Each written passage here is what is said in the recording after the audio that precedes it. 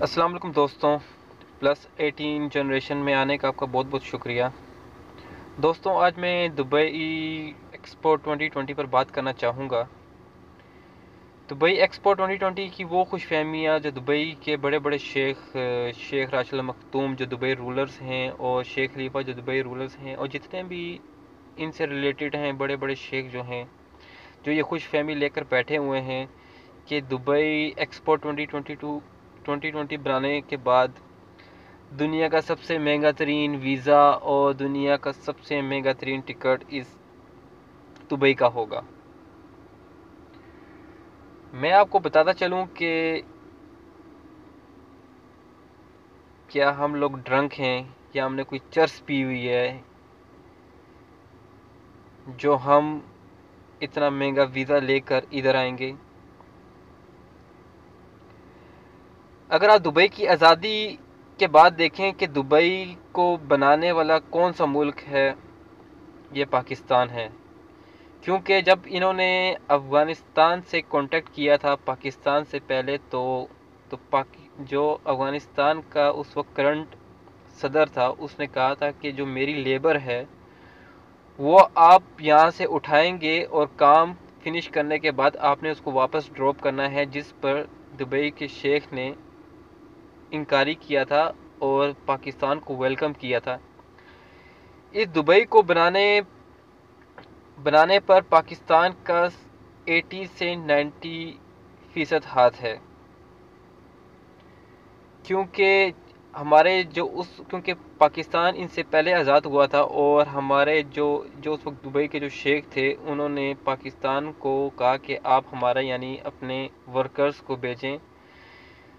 تاکہ ہم لوگ اس ملک کو ڈیولپ کر سکیں کنسٹرکٹ کنسٹرکٹ کریں تاکہ کچھ اس میں یعنی چیزیں آ جائیں۔ جیسے کہ آپ ان کی پرانی تصویریں دیکھیں گے تو دبئی میں نہ بجلی تھی، نہ پٹرول تھا، نہ رہنے کے لیے جگہ تھی، نہ گھر تھی، اس وقت یہ ہر ملک کو ویلکم کر رہے تھے۔ ویلکم کرنے کے ساتھ ساتھ اس وقت یہ نیشنلٹیز بھی دے رہے تھے کہ آئیں۔ اور اس وقت کہا جاتا ہے کہ پاکستان کی نیشنلٹی تھرٹی یعنی تھرٹی درم کی ملتی تھی اور دبئی کی نیشنلٹی دس درم میں ملتی تھی۔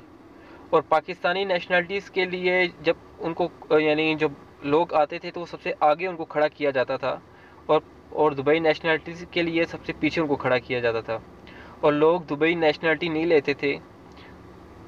اسی وجہ سے نہیں لیتے تھے کیونکہ وہاں پہ وہاں بجلی نہیں تھی اور رہنے کے لیے رہائش نہیں تھی۔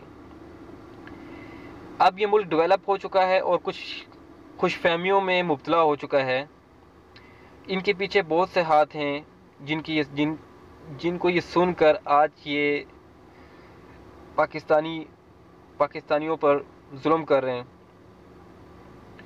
دبئی ایکسپو ٹونٹی ٹونٹی بنانے پر ایک ظلم کا لہو اور ظلم ڈھایا جا رہا ہے پاکستان پر۔ پاکستانیوں پر اور کافی مسلمس پر یعنی کافی کچھ اسٹرکٹ انہوں نے رولز بنا دیے ہیں تاکہ مسلم، مسلمان پاکستانی خود یہاں سے بھاگ جائیں۔ کیونکہ یہ ملک ستر سے اسی فیصد پاکستانیوں پاکستانیوں نے بنایا ہے۔ کیونکہ اس وقت جو پاکستانی بزنس مین تھے وہ ادھر وہ ادھر آئے ہیں، انہوں نے اپنا ادھر بزنس بنایا ہے، ادھر یعنی بلڈنگس بنائی ہیں۔ بلڈنگس بنانے کے بعد ان جب بلڈنگس بنائی ہیں تو یہاں کے شیخوں نے ان کو نہیں بولا کہ یہ پیسہ چوری کا ہے ٹکیتی کا ہے۔ کس چیز سے یہ کہاں سے آیا پیسہ؟ کیونکہ وہ ایک کہاوت ہے نا کہ ضرورت کے وقت گدے کو بھی باپ بنانا پڑتا ہے، کہ انہوں نے اس وقت ہمارے ساتھ یہی کیا ہے۔ آج ان کا ملک ڈیولپ ہو گیا ہے۔ آج بڑے بڑے انڈین بزنس مین یہاں پر آ کے ملینر بلینر بن رہے ہیں۔ کس وجہ سے؟ پاکستانیوں کی وجہ سے بن رہے کیونکہ پاکستانیوں نے یہ ملک بنایا ہے۔ بے شک ان کے پیچھے شیخ تھے، لیکن ہمارا استعمال کیا گیا ہے۔ آج ان کو ویلکم کیا جا رہا ہے اور ہمیں ڈس لائک کیا جا رہا ہے۔ میرے یہ ویڈیو بنانے کا مقصد اس دبئی کے بارے میں کوئی برائی کرنا نہیں ہے۔ میں آپ کو بتا رہا ہوں کہ جو ہم مسلمان، جو ہمارے دادا پر دادا لوگوں نے جو یہاں پر قربانیاں دی ہیں، اس کا یعنی ہم کو رزلٹ آج کچھ نہیں مل رہا ہے۔ میں آپ کو ایک چیز بتانا چاہوں گا کہ جو میں نے آپ کو کہا تھا کہ جو ان کرنٹ شیخ لوگوں کی، جو رولرز کی خوش فہمی جو ہے دنیا کا مہنگا ترین ویزا اور ٹکٹ کرنے کے لیے کرنے کے لیے۔ آپ مجھے یہ بتائیں کہ کیا ہم نے چرس پی ہے یا کوئی بھنگ پی ہوئی ہے یا کوئی ہم ٹن ہیں یا پیدا ہی ٹن ہوئے ہیں جو ہم مہنگا ویزا لے کے یہاں پر آئیں گے؟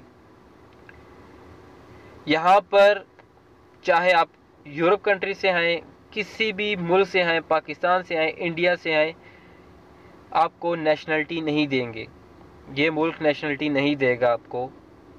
بے شک آپ یہاں پر اپنا ٹریلینس بزنس کھول لیں۔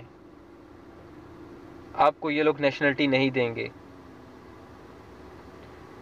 تو کیا ہم پاگل ہیں جو اتنا جو بلکہ ہم لوگ تو ہمیں خوشی ہے کہ یہ لوگ دنیا کا مہنگا ترین ویزا کریں گے۔ ہم لوگ تو امریکہ، U S A, Australia, Canada کا ویزا لے کے ہم ادھر جائیں گے، وہاں کا پاسپورٹ پکڑ کر یہاں پر فری میں انٹر ہوں گے ویزا ویزا فری ملے گا ہمیں۔ ہمیں تو وہ فائدے میں ہے۔ لوگ یہاں پر آنا چھوڑ دیں گے، کیونکہ یہاں پہ نیشنلٹی نہیں دی جاتی۔ دوسرے ملکوں میں دو سے دو سے پانچ سال تک آپ کو نیشنلٹی مل جاتی ہے۔ اور اس نیشنلٹی کی پار بھی ہے۔ ہم اس پا اس پاور پاورفل پاسپورٹ کو لے کر یہاں پر کیوں نہ آئیں؟ جتنے بھی لوگ یہ میری ویڈیو دیکھ رہے ہیں، وہ آپ مجھے خود بتائیں کہ کیا یہ ان کی خوش فہمی ہے؟ لوگ ادھر آئیں گے دنیا کا مہنگا ترین یعنی بڑی بلڈنگ برج خلیفہ بنانے سے یعنی ان کے پاس وزٹر آ رہے ہیں، برج خلیفہ کے لیے آ رہے ہیں۔ جب دنیا کا مہنگا ترین ویزا ہو جائے گا تو کون پاگل کو فدو ہے کوئی ادھر آئے گا